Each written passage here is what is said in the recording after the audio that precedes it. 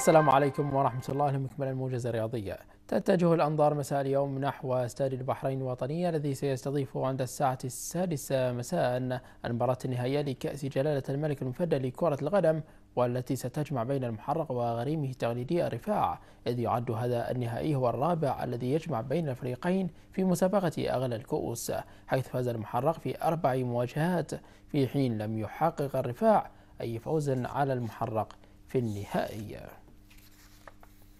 عزز فريق الحد صدارته لدور الدرجة الأولى لكرة القدم وذلك بعد فوزه على الملكية بهدفين مقابل هدف واحد. اللاعب محمد الرميحي سجل هدفي الحد في الدقيقتين الثالثة والحادية والستين.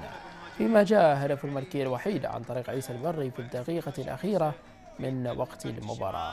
يرفع الحد رصيده إلى 28 نقطة موسعا الفارق بينه وبين المحرق صاحب المركز الثاني إلى ثمان نقاط كاملة. لذلك يقترب خطوة جديدة نحو تحقيق لقب الدوري للمرة الأولى في تاريخه.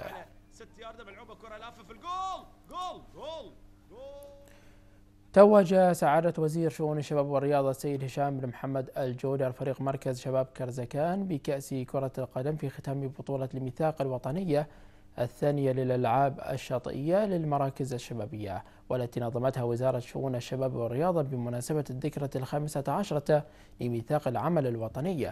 هذا وكان قد التقى فريق مركز شباب كرزكان مع مركز شباب القادسية في المباراة النهائية إذ انتهى اللقاء لصالح مركز شباب كرزكان بثلاث أهداف مقابل هدفين.